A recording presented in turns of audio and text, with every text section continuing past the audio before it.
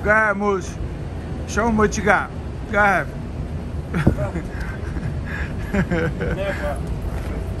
Rumble in the Bronx. it's the Rumble in the Bronx. You gotta extend it. You gotta extend it. Marlon Starling and Pito Cardona.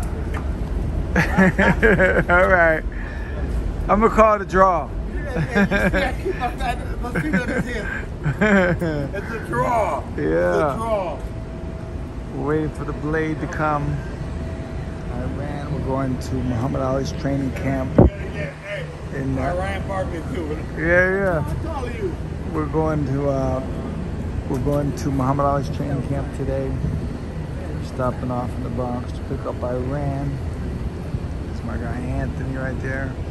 So When you was fighting at 147, how much you weighed on? just having a good day with the boxing family.